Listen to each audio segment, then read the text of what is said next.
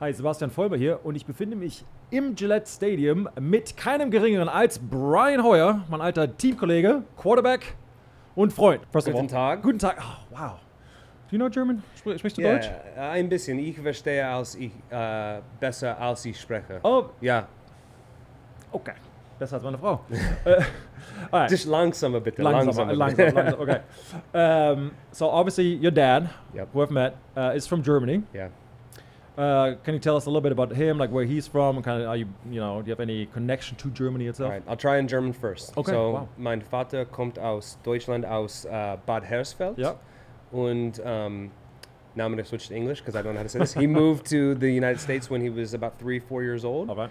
And uh, my Oma and Opa came and they Yeah. lived here, and you know they, they lived until he was about seventh grade, and my Oma and Opa missed their Vaterland, Yeah. and they moved back, and um, so then he lived in Heidelberg and went to high school in Heidelberg, and then eventually moved back to the states. My Oma and Opa missed him so much they moved back to the states. So um, yeah, a huge connection. Obviously not through just him, but my, my Oma and Opa, and I'll I'll never forget you know coming in to, together as a rookie my dad goes, "There's a German guy on your team, Sebastian Vollmer, and from University of Houston." So he was so, I mean, obviously he was excited I was playing, but for me to be playing with Yeah. a, a German-born, you know, guy who was drafted high for the Patriots, he was he was super excited. I met your dad a couple times. Like Yeah. that's not a small man. Big dude. I mean, Yeah. looks like he could play Yeah. himself. So obviously, with your dad being German and bringing a lot of German culture and ways, I assume Mhm. into your family. Do you have?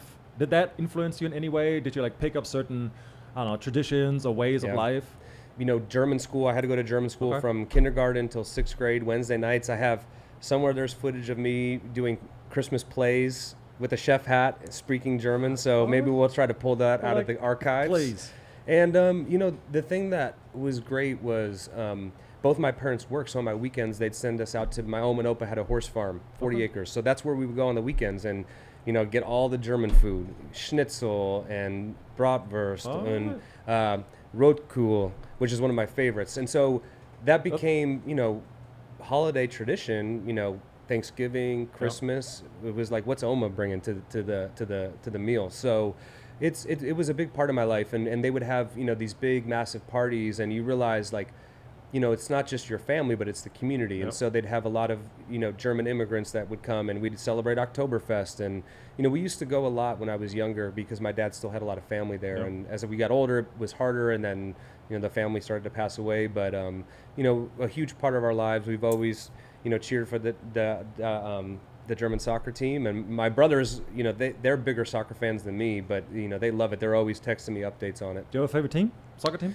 Um, I mean, Bayern Munich, obviously. I mean, uh, look, I'll be honest, soccer is not my favorite sport. But when it becomes the World Cup or Yeah. it becomes the, the Euro Cup or the Champions League, and, you know, I'm always rooting Yeah. for the German teams. Very nice. Yeah. So you mentioned the get-togethers and, and you know German traditions. So obviously, I'll tell you after how we do it. So you have kids. Obviously, you're married. You have kids. Yep. What is your uh, Christmas tradition? Do you do uh, Christmas Eve, like how Yeah. a lot of Germans are doing it, or do do you do the 25th as most Americans are doing it? So when I was growing up, we would, so alternating years, some with my dad's parents, some with my mom's parents. And when it was Oma and Opa's year, it was always Got it. Christmas Eve, midnight mass, uh, you know, Oh. very traditional. Yeah. So, um, you know, now that, you know, I'm growing up when, and I'm, or I've grown up and I'm trying to Yeah. raise my children to understand their heritage Yeah. and, and we do a lot of things on Christmas Eve, but then also, you know, with the American tradition of, of Christmas morning. Unlike last year, I was playing on Christmas Oh, Day yeah. out in Vegas. So that was, Sa- that? Santa came a day early last year. I got it. I got it. Yeah. That gotta be tough. I mean, that, that's uh, a deep dive into football. But like, how is that playing on Christmas, Christmas Day? Yeah, that was my in 15 years Yeah. first time it ever happened. So, um, you know, it's different, and and you know, it was a Monday, so I get it. Like, you know, let's let's plan on Monday. But I think this year they're playing on like a Tuesday, and you know, you realize how Oh, much wow. it is as a business, and not so much of you're thinking about the players. So, but yeah, even even last year I was telling the kids about Krampus. Oh wow, Yeah, deep dive. A deep dive. Yeah, How, how did they like that? Are they scared now? a little scared. Yeah, yeah, I, I, yeah. It's a weird tradition. I mean, it's just like the Germans, man.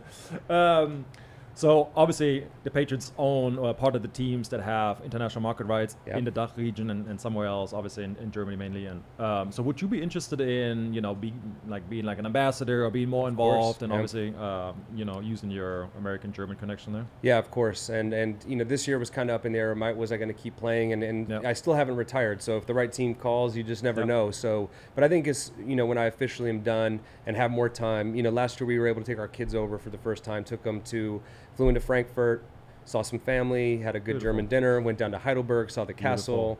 I got a picture of my dad's house, sent it to him. He was Oh, happy. wow. Yeah, spent a few days in, in Munich, and, and they loved it. I mean, it was so cool for them, and and um, you know they loved it. So um, to get over there more, and then also now that the NFL has become so big, I remember as a kid, you know, my dad's cousins would come over, and even back then, you know, loved American football. You know, they'd have the Favre jersey on, a Broncos Yeah, hat, yeah. a Chiefs jacket. It Yeah. didn't matter about the team; it was more about the players and things like that. So, um, you know, to see how it's really grown and taken off. Um, I remember talking to Tom after his first game in Munich, and he said, "Wow, that was one of the most electric atmospheres." And you and I played in London Played our rookie in year, 09 and and they didn't really understand Oh, like yeah. football. And you watch the game in Germany, and, and the German fans, you know, they understand football. They know when to cheer, when not to Yep. cheer, and um, you know, singing country roads, and Yep. and uh, it was, you know, that's my one regret as a player. I never got to play there because I played in London, I played in Mexico. I wish I would have been able to play in Germany.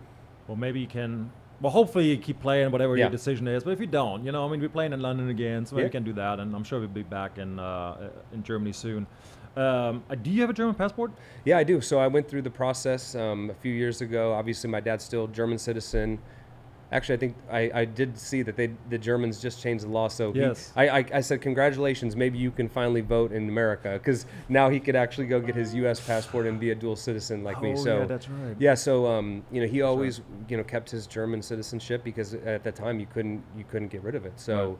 Um, you know, through him, I was able to do it, and then along with that, pass it on to my to my kids, and so Very now nice. my wife Lauren, you know, she's always like, "Well, what if what if I need it?" I'm like, well, "We got to move there. I think three years minimum." Yes. So, um, obviously, you Yeah. you know, but um, it was something I was very proud to do because, like we talked about, growing up, it was a big part of my heritage, and you know, I didn't really know that was an option for me. I knew that, you know, obviously my dad was a German citizen, but as I got older, I realized, oh, you know, because he's a citizen, so am Right. I, and so I wanted to go through the process, and it was a big part of my life. And so I remember I took a picture outside of the, the consulate, you know, with the, Nice. the German crest, and just sent it to him, and he was he was very proud too. So um, one of my brothers has followed, you know, my footsteps and done it, and then Alright. the other one's, you know, working on it too. So Very nice. Uh, and lastly, about this, so did you pay attention to like you know the fan march in Frankfurt, for example? Just Yeah. kind of like how big and how invested the German fans and especially the fan clubs are. Like, and how does that feel? Obviously, when you're still on the roster and, and you feel that other countries are actually supporting you as a player and also obviously the franchise overseas. Yeah, it was great. I mean, obviously, I talked about we played together, but I also played with Jakob, Yeah. and so that was kind of in the time when you know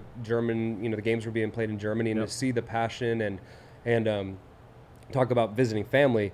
You know, I go visit them, and they said, "Look, there's three million wait to get tickets for Yeah, the game. Yeah, You know, we, we know you're not on the Patriots anymore, but is and I so through through Chris Mattis, I said, Chris, I got some German Uh. family. If, if I'm, I'm assuming not everybody's going to use their tickets, so if I can get a few tickets and buy them from you, just please let me know. And he did, and you know, I'm getting ready for my game out in Vegas, and I'm getting WhatsApp messages, and they're just sending me pictures of the game and what's going on, and and how much they loved it. So awesome. Yeah. That, that's really really good to hear.